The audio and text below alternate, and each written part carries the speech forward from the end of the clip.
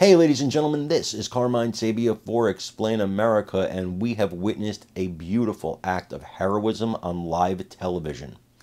Before we get started, please make sure you like, comment, share, and subscribe. Those little things really help us out, and they help our channel continue to grow. And if you're not watching us on YouTube, you can do that by visiting that address in the lower right-hand corner. It's youtube.com forward slash at Explain America, and hit subscribe absolutely free. It really helps us out. Fox News meteorologist was on the air this morning, and you know Hurricane Helene has has wreaked havoc across, especially the southeast, and it's just devastating, devastating people, communities, taking lives. Well, this Fox reporter's in the middle of his live shot. He sees a woman in absolute danger.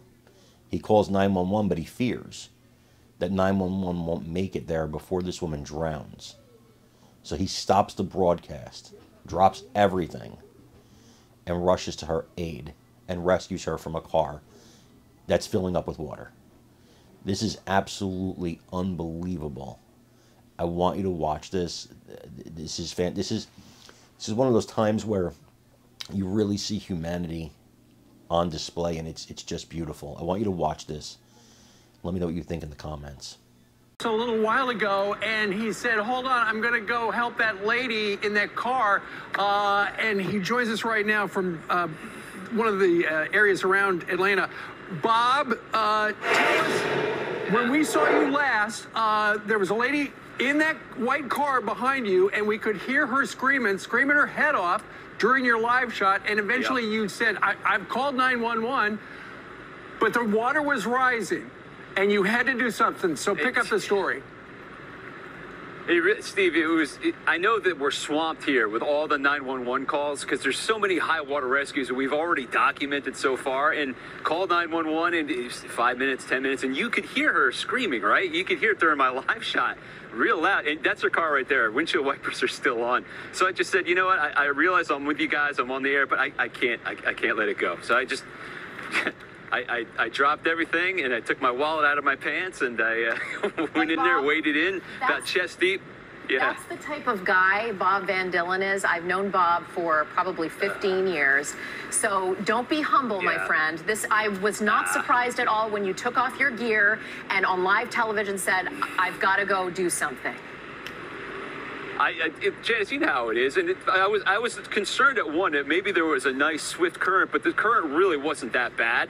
Uh, but the water temperature I was afraid with too. The water temperature is probably about 80, so all those things were working pretty nicely. Now that being said, the water came up to about my chest, and she was in there, and she was still strapped into her car, and the water was actually rising and getting up into the car itself. So she was about you know, almost neck deep submerged in her own car. If you hadn't done that, she's if you on hadn't her phone gone, with her husband. Oh, what would have happened had you not gone in there?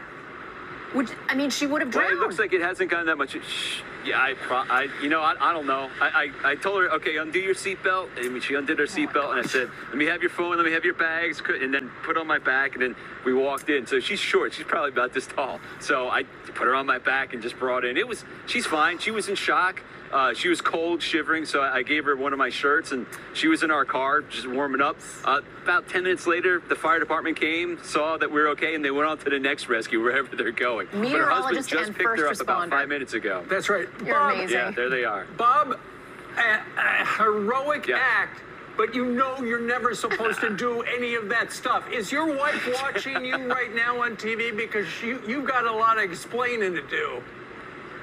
Uh, you know what? I texted her. I said, "Let's just keep this under wraps." She doesn't. She doesn't know what happened or anything. I'm gonna text her right now. Don't tell her. You guys. Allie, no, Janice, come on. You know her. Don't tell. Mm. I'm gonna tell no, her. That's good. It's, just, everyone now knows. When I go home, she's eventually she's gonna lose her shoe in my butt when she finds out.